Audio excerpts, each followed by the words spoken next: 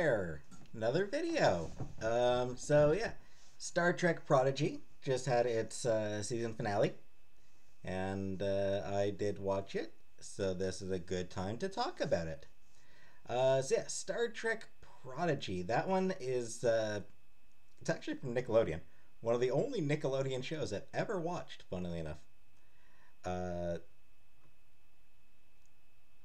Prodigy is an animated series. Uh, it is set. It fills the niche of being sort of the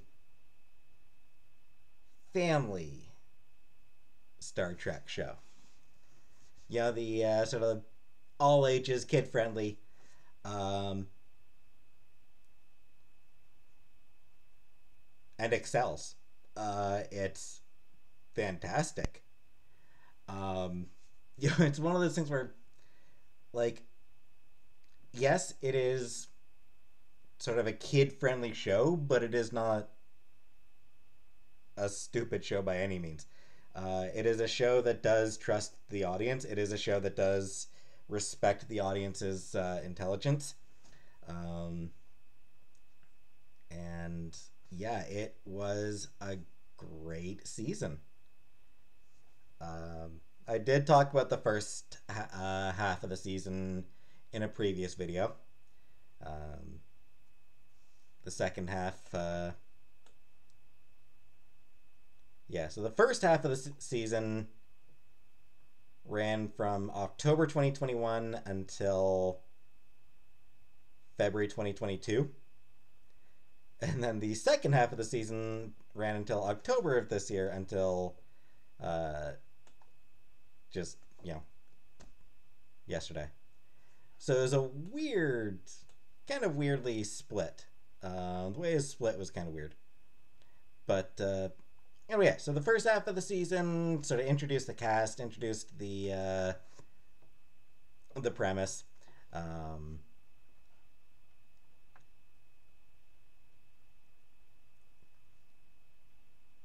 second half of the season was sort of built on different threat. Um,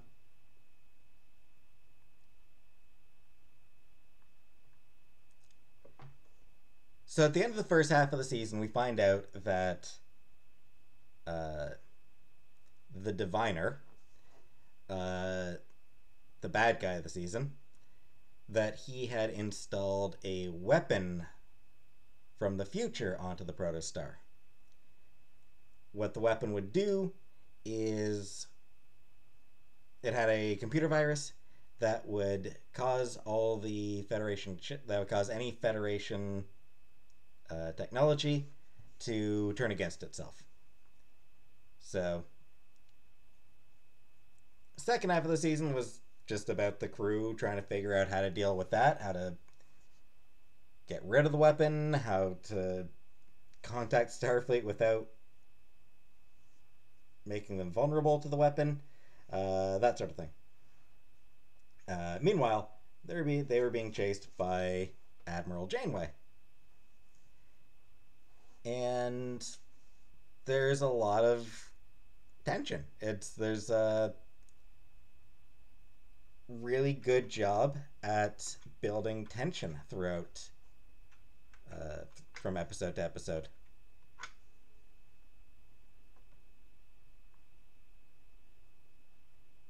Um,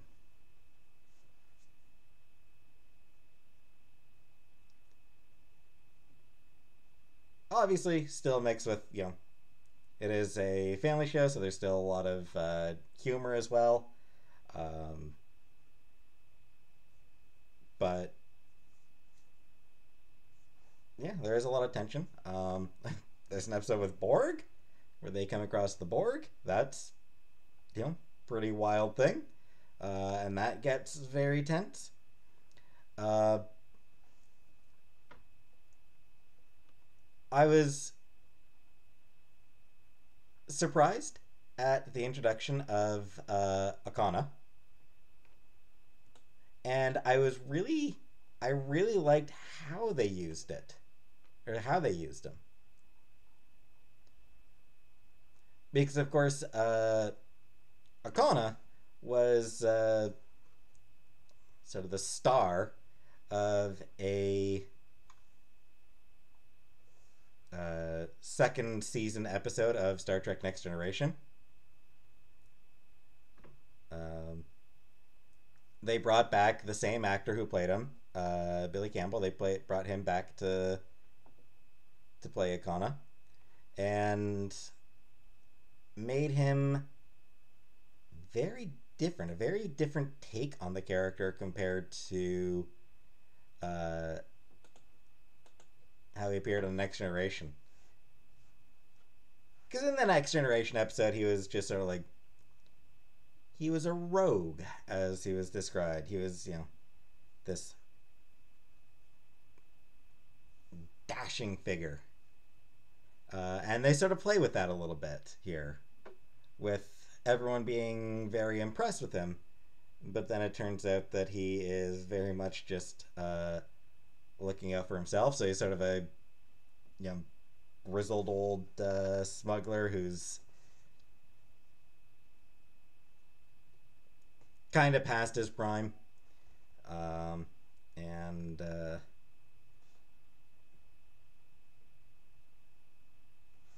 yeah, just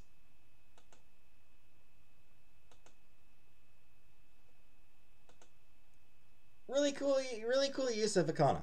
Like they they sort of played with viewer expectations of uh, the character in a really good way. Um,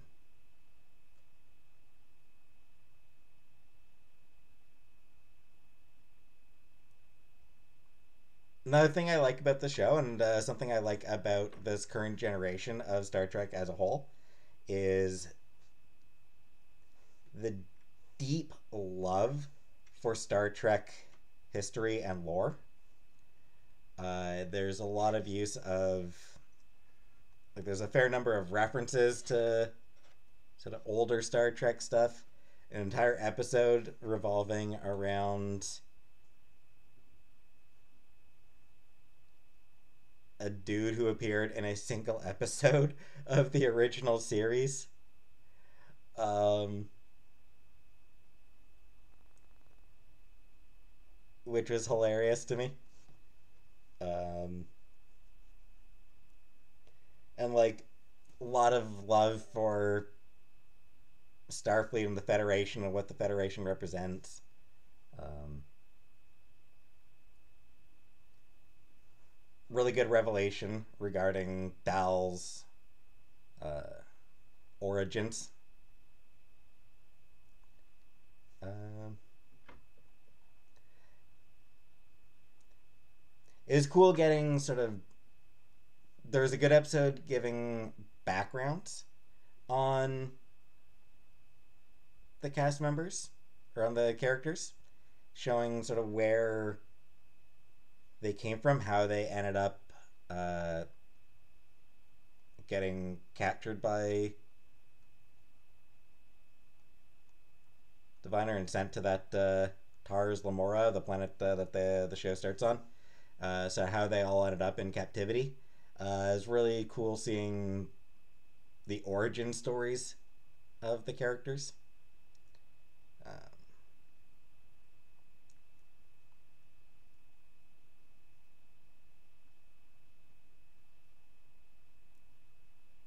there was some good use of the diviner. Uh, the diviner himself continued to be a presence in the second half of the season uh, in a really good way. A little bit kind of predictable at times, but in a way that really, really worked. Uh, and then, yeah, I really liked And then the final, the two parter uh, at the end of the season, the season finale, really good. Really ramps up the tension. First part, absolutely ramps up the tension. The second part, resolves the main conflict fairly quickly, but also in a really clever and satisfying manner. Uh, then yeah, there's and then the second half of the of that season of that final episode is really about the future.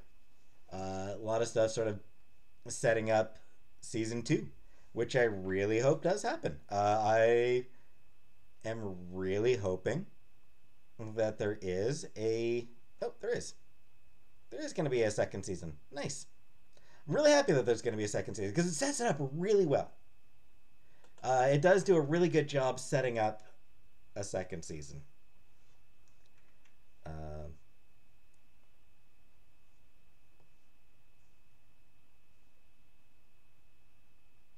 yeah, it's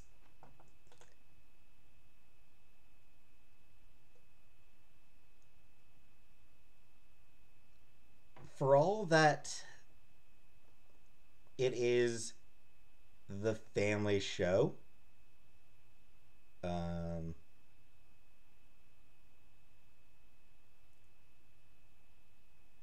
a lot of effort did go into it. You can tell that there's a lot of effort. Uh, apparently, they had an astrophysicist uh, as a consultant uh, working in the writer's room because they wanted this one to have uh, a greater degree of scientific accuracy than Star Trek usually does. Uh, because they want to encourage kids to get into science. So I think they wanted, because it is aimed at a younger audience, they wanted the science to be sort of more accurate to get people more interested, more involved in science, which uh, hopefully works. And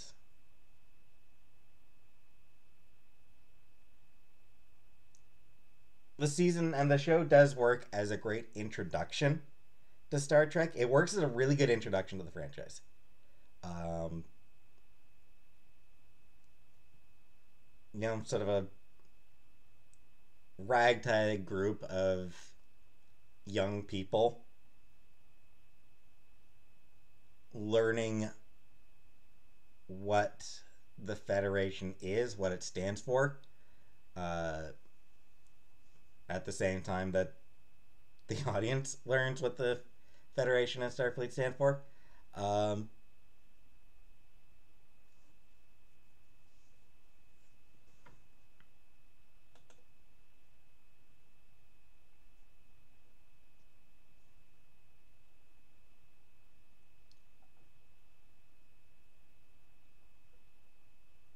It's, yeah, it's just it's uh it is I think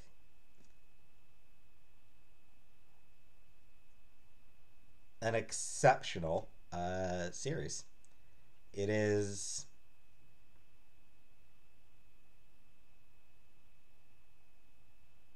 It is fantastic. It's uh it fills the niche well and it sort of really does serve even more than even more than the other Star Trek shows going on right now. It serves very much as a love letter to what Star Trek stands for. Um,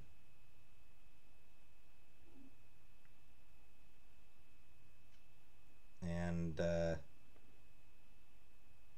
yeah, that's great.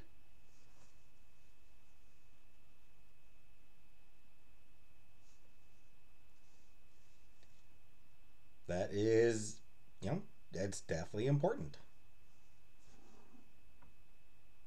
Because Star Trek is great. Star Trek's important. Star Trek means a lot. The fact that it's animated, I suspect, probably does uh, is something that probably turned off some potential viewers. I know my mom, for example, uh, despite the fact that you know she's been watching Star Trek for decades, um, you know, she hasn't watched uh, Prodigy in no in large part, primary basically entirely because it is an animated series. Um, Star Trek is not a show that has traditionally been animated. Uh, so I think, you know, for some long time watcher, long time uh, viewers, that's probably sort of something that turned some of them off, but which is a shame because, you know, I think if they give it a chance, they'll love it because it is what Star Trek has always aspired to be.